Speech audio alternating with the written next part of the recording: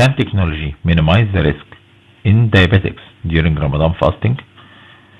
I am Professor Hazim El Ashmawi, Professor of Endocrinology and Diabetes, Faculty of Medicine, member of the Arabic Association for the Study of Diabetes and Metabolism. As we know, Ramadan is the ninth month of the Muslim calendar, and the daylight fasting that accompanies it is one of the five pillars of Islam. Uh, we know fasting during Ramadan is compulsory for all healthy adult Muslims, although exceptions exist for people with serious medical conditions, including many with diabetes. Nevertheless, the majority of individuals with diabetes see the fast as deeply meaningful and spiritual experience, and most will participate, participate sometimes against medical advice.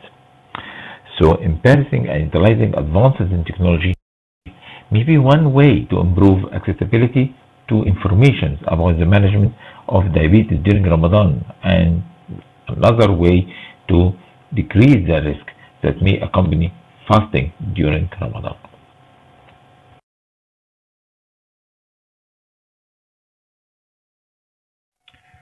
So when we talk about risks associated with fasting in patient uh, with diabetes, so in keeping with this, um, a large epidemiological study conducted in 13 Islamic countries on 2,243 uh, diabetic individuals who fasted during Ramadan showed a high rate of acute complications.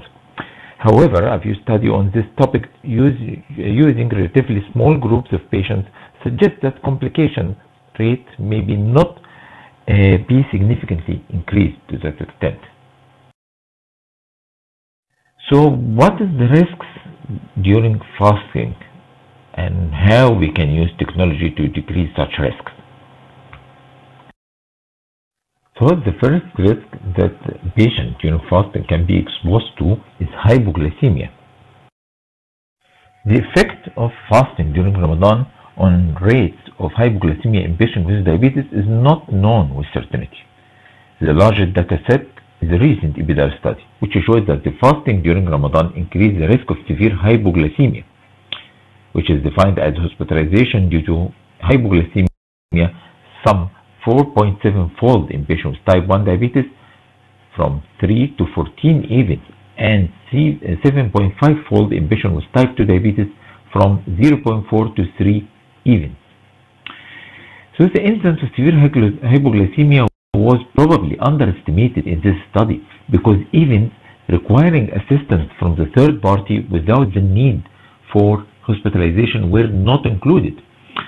Also, severe hypoglycemia was more frequent in patients in whom the dosage of oral hypoglycemic agents or insulin were changed and in those who reported a significant change in their lifestyle.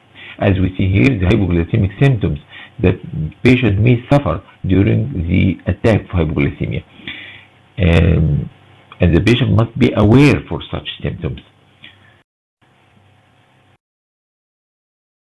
So the second complication or second risk that um, fasting patient can be exposed to is hyperglycemia. Hyperglycemia, um, the extensive EPIDIAR study showed a five-fold increase in the incidence of severe hyperglycemia, which means requiring hospitalization, of course, and during Ramadan in patients with type 2 diabetes from 1 to 5 events and an approximate three-fold increase in the incidence of severe hyperglycemia with or without ketoacidosis in patients with type 1 diabetes from 5 to 17 from 5 to 7 events. So hyperglycemia may have been due to excessive reduction in the dosage of medication to prevent hypoglycemia, or patients who reported an increase in food and or sugar intake had significantly higher rate of severe hyperglycemia. So all this is all these um, uh, symptoms, the patient also must be aware that is uh, these hyperglycemic symptoms. Um, and during the fasting, and he must stop fasting if he feels such symptoms. So another complication that may accompany uh, the hyperglycemia is diabetic ketoacidosis. So patients with diabetes, especially those with type 1 diabetes who fast during Ramadan are at increased risk of development of diabetic ketoacidosis, particularly if their diabetes is poorly controlled before Ramadan. In addition, the risk of diabetic ketoacidosis may be further increased due to excessive reduction of insulin dosage based on assumptions that food intake is reduced during the month. Also, uh, the patient can suffer from dehydration and thrombosis. So limitation of fluid intake during the fast, especially if prolonged, is the cause of dehydration. In addition, hyperglycemia produces an osmotic diuresis, further contributing to volume and electrolyte depletion. Orthostatic hypotension may develop, especially in patients with pre-existing autonomic neuropathy. Uh, in addition uh, to contraction of the intravascular space can further exacerbate the uh, hypercoagulable state that is well demonstrated in diabetes. So the use of technology to improve diabetes management during Ramadan. Technology can be useful tool for improving diabetes management. For example, service can adopt a reminder system to remind the healthcare providers to provide Ramadan fasting advice to each patient in their pre-Ramadan pre-Ramadan consultation. And now owning a mobile phone is commonplace these days. Therefore, mobile messaging and applications could be used to improve disease awareness and to provide support for diabetes self-management, including medications, reminders, diet and lifestyle plans. So now we'll talk about the M Diabetes Project, which is one of the ways of using technology to minimize the risk of complications for diabetic patients during Ramadan. Embracing and utilizing advances in technology may be one way to improve accessibility to information about the management of diabetes during Ramadan, especially for people in remote regions. And the M Diabetes Project is one of such initiatives. Diabetes and Ramadan related information is sent in text messages to enrolled individuals, which uh, happened before in Senegal. And the aim of the the aim the aim of these text messages was to increase awareness of diabetes and provide advice during Ramadan to prevent complications associated with fasting and feasting. In 2014, around 3,000 people had registered to receive the message, and this increased to uh, 11,000 in 2015. Since it launched in 2014, there has been a rapid rise in people registering to receive such information. And 100% of participants surveyed had requested to receive messages for the next Ramadan. This could prove to be an effective way for publicizing and circulating up-to-date guidelines to a wider population. So patients with diabetes, Uh, healthcare providers and the general public were encouraged to sign up to receive a special set of diabetes and Ramadan SMS before, during, and even after Ramadan. During the evaluation, a random sample of about 100 patients with diabetes who had registered for the SMS service were interviewed by phone. And the outcome was very positive, confirming the high interest within the diabetes community to receive simple daily advice on a personal device to help manage their diabetes during Ramadan and fast, and fast safely. The MDiabetes project has also been launched in Egypt. The WHO regional office in Cairo has announced in Cairo announced in February 2016 the MDiabetes program and this was in collaboration with the International Telecommunication Union, Egypt Ministry of Health, and also Ministry of Higher Education. SMS education is a feasible and acceptable method for improving glycemic control and self-management uh, behaviors among Egyptian diabetics. So the M diabetes is an efficient tool for reducing unequal access to care due to financial or geographic or social reasons. So to this end, the World Health Organization and the International Union of Telecommunication have implemented the P-Healthy, P-Mobile initiative which seeks the, to use mobile technology to fight the growing global burden of non-communicable disease, including diabetes.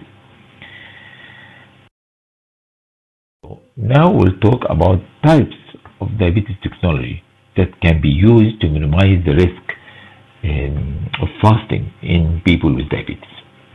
So we have that uh, there are three broad themes to diabetes technology.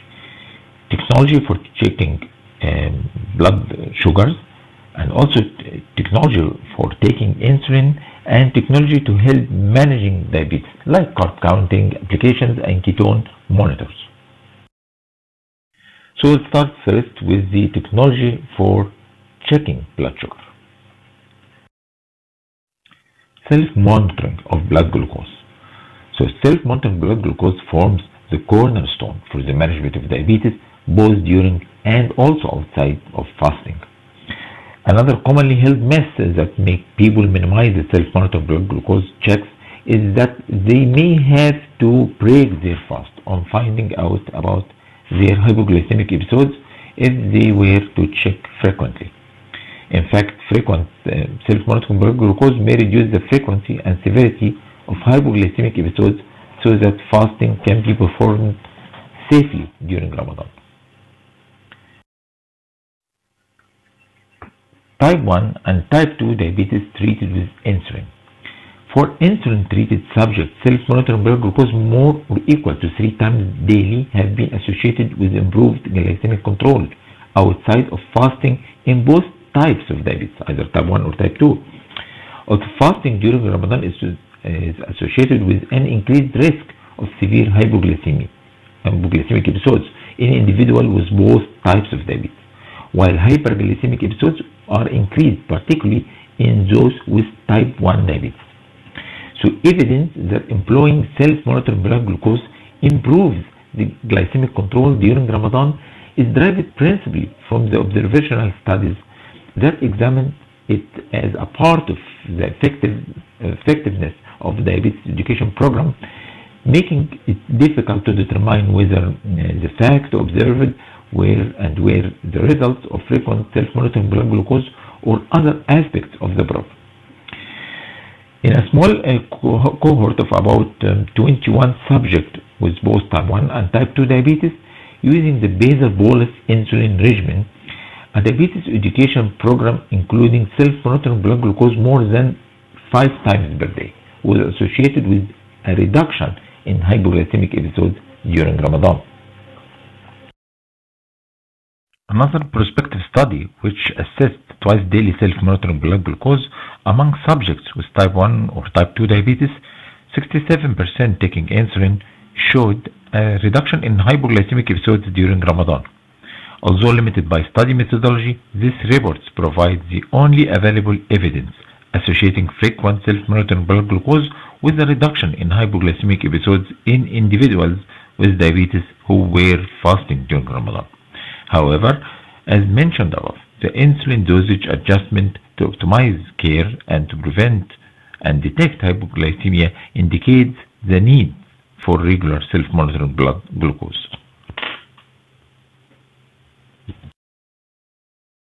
What about type 2 diabetes treated with non-insulin regimen? So similar methodological limitations exist in studies examining the effective self-monitoring blood glucose in diabetes treated with non-insulin medications during Ramadan. In a prospective study, participants in an education program that included self-monitoring blood glucose twice daily experienced a decrease in body mass index, hemoglobin A1c, and severe hypoglycemic episodes during Ramadan. Similarly, weight loss and a decrease in the number of hypoglycemic episodes was observed in retrospective study in which participants in a diabetes education program were advised to test glucose when symptomatic while fasting. But neither study, however, listed the daily self-monitoring blood glucose frequency in the control group. So this is the glucometer. All we know is a glucometer which can be used by the diabetic patient during and even without fasting to check their blood glucose. It is an old invention. It's about from 1980s uh, for direct measurement of blood glucose. It needs a very small sample to check uh, blood glucose level. Continuous and flash glucose monitoring. There is misconception by some patient, Muslim patient during Ramadan fasting, that uh, breaking the skin for blood glucose testing invalidates the Ramadan fast, which is not true. Continuous glucose monitoring and flash glucose monitoring by individual with either type 1 or type 2 diabetes and flash glucose monitoring by those with type 1 especially have not identified a worsening of glycemic control during Ramadan. No, no study to date has compared the utility of continuous glucose monitoring or flash glucose monitoring versus uh, self-monitoring blood glucose in improving glycemic control when fasting during Ramadan. So further studies are needed to assess the utility of continuous or flash glucose monitoring in individuals with diabetes who fast during Ramadan, particularly among those using complex insulin regimen. So this is the continuous glucose monitoring technology and this is the sensor. As we see here the sensor is um, composed from several layers either from the electrode uh, for enzyme um, uh, glucose oxidase converting uh, to convert glucose to hydrogen uh, peroxide.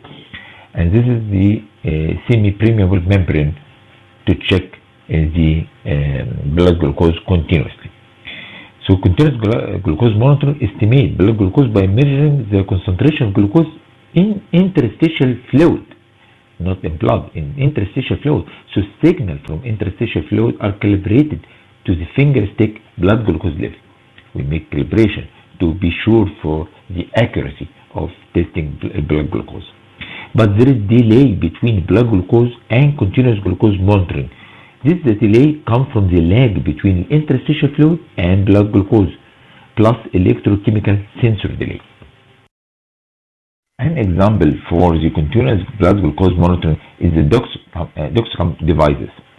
Dexcom devices is um, one of the famous devices for uh, checking uh, blood glucose continuously by the technology of continuous blood glucose uh, measurement and the installation of the device really is, is very simple uh, for the patient and uh, as we see there is mm, no finger stick elimination no finger stick are needed for the calibration of diabetes uh, or diabetes treatment decision. Also as we see it is um, there is easy sensor applicator.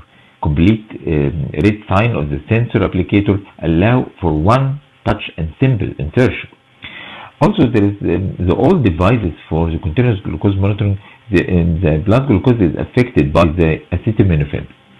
So the, this now new devices now has um, new feature allows for the more accurate blood glucose reading with no medication interference.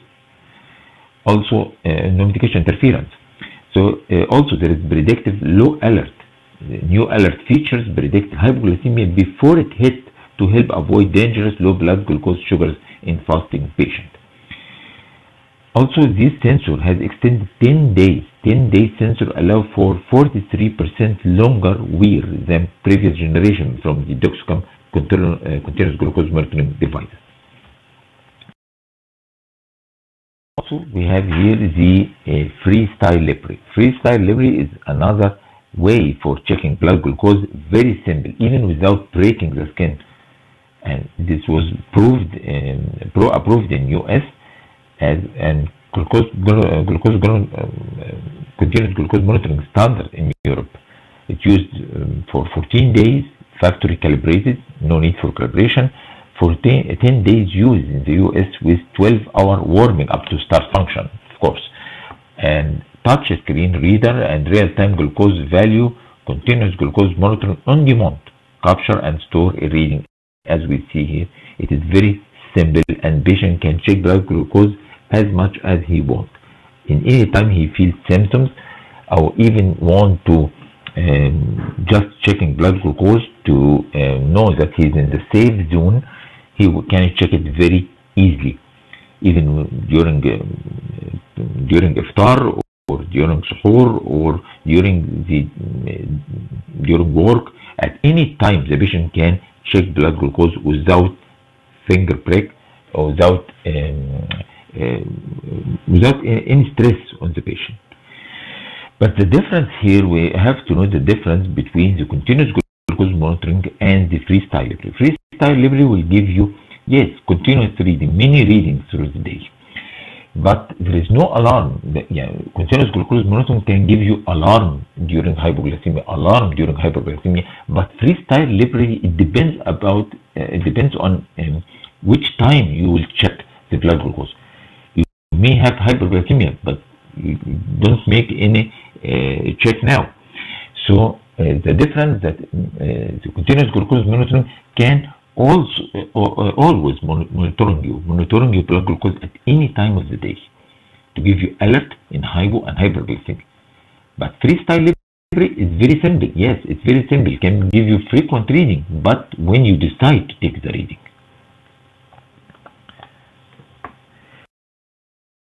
Another technology really it's what's called glucotrack and this is um, glucotrack without needle at all. You know that in continuous glucose monitoring we uh, put the needle once every 14 days or in uh, free uh, style Libre once insertion every 10 days. But in glucotrack it is no needle insertion at all. This glucose monitoring technology without needles. So Glucotrack uses a unique and patent combination of the three different technologies, ultrasound, electromagnetic, and thermal, brought together with property algorithm to weight each measurement and calculate weighted average of the three readings. Once calibrated, taking a reading is as simple as clipping the personal ear clip to the wearer ear loop to obtain a reading. The reading take under one minute to complete. But maybe the drawback that this device is really expensive. So now we will shift to technology of taking insulin. Technology of taking insulin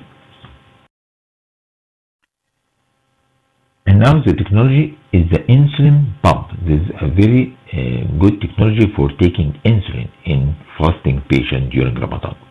An insulin pump provides continuous insulin delivery over 24 hours with basal infusion rates programmed and individualized for each patient. Patient self-administers of insulin with meals and at time of hyperglycemia often with mathematical support from the pump. So theoretically, the combined risks of hypoglycemia from prolonged daytime, daytime fasting and hyperglycemia from excessive nighttime eating can be better managed by an insulin pump based regimen than multiple insulin doses uh, injection therapy. Hypoglycemia, uh, of course, can be aborted, reduced, prevented, and even more readily treated with pump um, uh, treated patients by, sim by timely downward adjustment or even stopping insulin delivery from the pump. Such an advantage is not available for to those treated with conventional insulin injection, of course, in which insulin continues to be released from the site of injection throughout its predetermined duration of action. So any excess any excess insulin action can only be counteracted in, by in, uh, counteracted by intake of carbohydrate. So uh, this is the difference between taking insulin by injection and by taking insulin through insulin pump. So fasting at Ramadan may be successfully accomplished in people with type 1 diabetes if they are fully educated and facile with the use of insulin pump and are otherwise metabolically stable and free from any acute illnesses. So before Ramadan, prior to Ramadan, they should receive adequate training and education to such pump, particularly with respect to self-management and insulin dose adjustment. They should adjust their infusion rate carefully according to the results of the frequent home glucose monitoring. So this is a combination between the technology of using frequent home glucose monitoring and the technology of insulin pump to give better, result, uh, better results in minimizing the risk in such patients. Most will need to reduce their basal, insulin, basal infusion rate while, the, while increasing the bolus doses to cover the pre-dawn and sunset meal. So another technology for taking insulin is the smart insulin pen. Smart insulin pen eh, eh, is another or other major recent developments, including approval of, of insulin smart pen, injector pen that record the amount and timing of insulin dose with data shared with mobile application at the same time. So as we see here, the patient uses smart pen, he can avoid hypoglycemia and hyperglycemia and also the forgetfulness. If the patient forget if he take the insulin dose or not to avoid lack of insulin dose or doubling the dose. And this is very important in um, very important uh, that can be avoided by smart insulin pen. So as we, as we said the data shared with mobile mobile application to track trends and make those recommendations smart pen like any other pen in the injector the difference is smart pen track each dose and deliver the data to a secure application on the patient's smartphones finally no complicated math and no logbook to update for the patient. This is really very good advantage uh, that can really really help to minimize the risk um, uh, of fasting uh, during Ramadan for diabetic patient. This is another technology that helps managing diabetes, the technology for managing diabetes in patients during fasting. There are other types of technologies that can help patients to manage their diabetes like ketone monitors which measures the amount of ketones in the blood. Ketone monitors are recommended for people who use insulin pumps but others may benefit from them too. As you see here, this is the mobile applications that can be used in such patients to uh, help there to um, manage their blood glucose and this is application is called diabetes or M diabetes there are a lot of applications and smart technology that can help patients with managing their carb counting in Ramadan. And bolus calculation, food database, um, lookbook for the patient, all these benefits even give charts and graphs for their uh, blood glucose throughout the whole month. Ketone monitors, as we see here in this video, this is a ketone monitoring device. So um, uh, GlucoRx uh, and ketone blood glucose meter is a unique multi-parameter machine with hematocrit correction technology also that provides a complete health check by measuring blood glucose, hematocrit, ketones, and even hemoglobin. Uh, Glucomen Plus, this is another Glucomen Plus is a blood glucose meter that incorporates two-in-one blood glucose and ketone testing facility in the same time.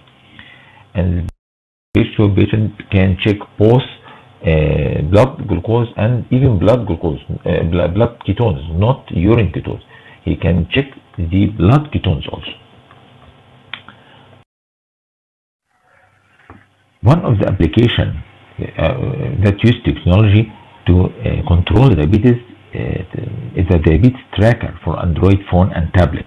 It's called uh, MyNet Diary. Uh, you can find it easily on Play Store, and it is a comprehensive tracker application for Android and help fasting patients to track and manage their diabetes, to keep track uh, of blood glucose and control carbs. Its uh, average self-reported A1C reduction is about 1.4 percent. So it tracks carbs and other nutrients and also it has a huge food database. About over has over than 8 uh, 800 5000 verified food in its database. So uh, uh, this application MyNet Diary can calculate net carb and diabetes carb count and let the patient select them as the main carb type. It can give uh, diabetes report. Diabetes report provides easy and powerful report help fasting patient to see everything together. He, he can see foods, uh, carbs, insulin, blood glucose, and medication all together, as we see. in such diabetes reports. Also, it has a barcode scanner. This barcode scanner for fast food entry. It can be used for every barcode in, in, the package of any food he bring it from the market. There is a barcode scanner. With this program, he can check the barcode scanner to give all the information about such food. As we see here in the video, the patient can uh, see everything about straw, straw, uh, strawberry banana, how much glucose, uh, how the amount of, um, uh, how many carbs, how many calories inside, everything with that barcode scanner. This is for fast food entry and provide built-in barcode scanner in the application. About what is the recommendation for patient uh, patient with diabetes uh, during Ramadan fasting? First, uh, he, he must use the technology as much as he can because every, every technology added he, is equal to lesser risk during fasting. So for individual fasting during Ramadan who use insulin. So first, education on the frequency of self-monitoring blood glucose testing during fasting should be provided to improve hemoglobin A1C levels and reduce rate of hypoglycemia. In the short term, real-time glucose, uh, continuous glucose monitoring or flash glucose monitoring during fasting to adjust insulin doses and prevent hypoglycemia risk may be considered for people living with type 1 or type 2 diabetes who are taking complex insulin regimens defined as basal bolus, at least one additional administration of bolus insulin. For individuals with diabetes who don't require insulin, if the self-monitoring blood glucose should be individualized according to the type of therapy, the risk of hypoglycemia or hyperglycemia, and the level of glycemic control and duration of fast. So, as we said, in addition to this recommendation, so using of technology that we mentioned before, in, as much as the patient can, can really help them. But the patient need to be educated for such uh, uh, technology prior to, uh, to Ramadan. So pre-Ramadan education is very important, even in using the technology that can help him during Ramadan fasting. Thank you.